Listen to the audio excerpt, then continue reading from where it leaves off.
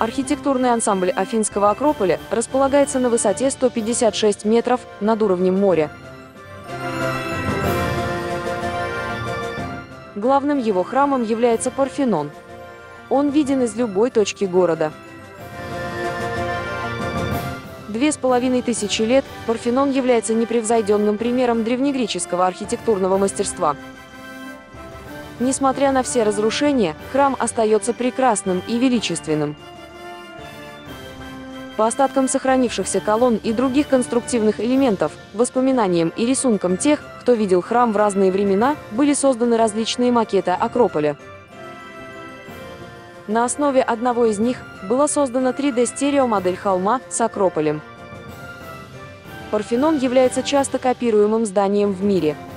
Есть много зданий по всему миру, которые были сделаны в том же самом стиле, кстати, в 1897 году в городе Нэшвилле, штат Теннесси, была построена полномасштабная копия оригинального Парфенона.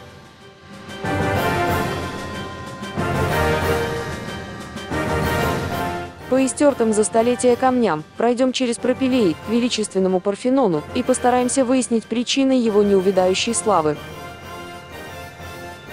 Восприятие архитектуры – это восприятие трехмерного пространства, визуальная оценка которого в этих трех измерениях не одинакова.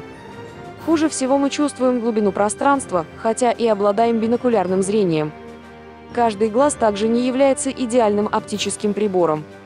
Дисторсия, астигматизм и другие дефекты органов зрения приводят к неадекватности восприятия длины и высоты предметов, их формы. Мозг тоже вносит свою долю в эту неадекватность. Зодчие Древней Греции знали об ошибках восприятия архитектурных объектов, не углубляясь в их реальные причины. И для того, чтобы скомпенсировать эти недостатки, они применяли определенные инструменты обмана зрения. Они так искусно нарушали пропорции элементов и изменяли их положение, что человек смог увидеть идеальную картинку. Как здание в целом, так и его отдельных деталей –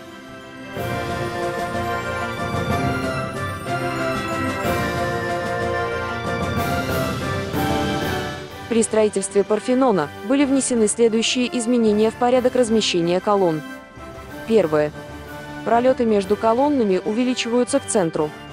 Для идущего вдоль колонн зрителя они кажутся одинаковыми. Второе. Угловые колонны ближе придвинуты к соседним.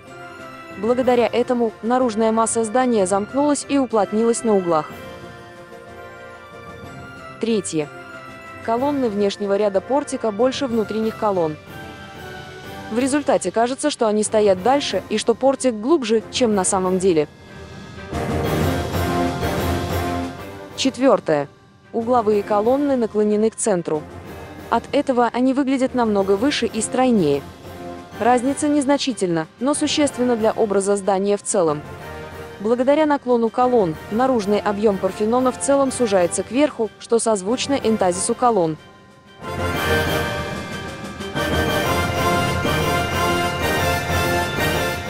Архитекторами Парфенона также была изменена геометрия колонн. Первое. Угловые колонны сделаны толще остальных. Это создает иллюзию их одинаковой толщины с другими колоннами. Здесь архитекторы учитывали эффект иррадиации, согласно которому угловые колонны на светлом фоне неба кажутся более тонкими, чем остальные колонны на темном фоне стен храма.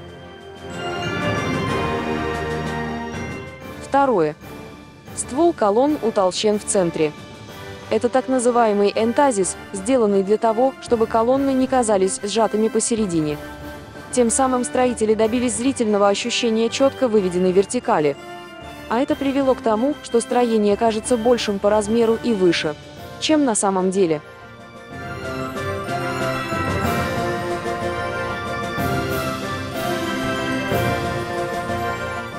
Третье. На поверхности ствола колонн сделаны канилюры – вертикальные желобки, которые подчеркивают вертикальность колонн. Кроме того, канилюры наглядно выявляют объем ствола колонны.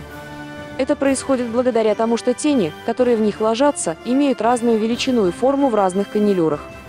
Кроме того, движение Солнца перемещает со временем эти тени, и колонны как бы меняют свой облик. Четвертое. Вертикальное движение вверх усилено также тем, что колонна расчленена на ствол и капитель.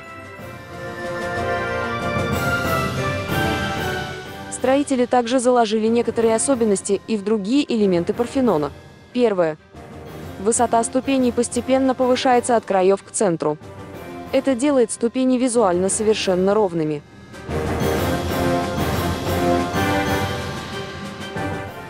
Второе. Поскольку все колонны приблизительно одной высоты, кривизна ступеней передается антаблементу. Поэтому все части антаблемента, в свою очередь, тоже очерчены кривыми линиями. То есть карнизы и кровля Парфенона слегка изогнуты. Однако это создает оптическую иллюзию прямоты сооружения. Третье. Фронтоны и антаблемент отклонены от вертикального положения. Четвертое. Соблюдены определенные пропорции в высоте архитрава, фриза и карниза. Благодаря умению греческих строителей, в архитектуре Парфенона мастерски реализованы специальные меры не только для компенсации оптических искажений, но и для усиления зрительного восприятия.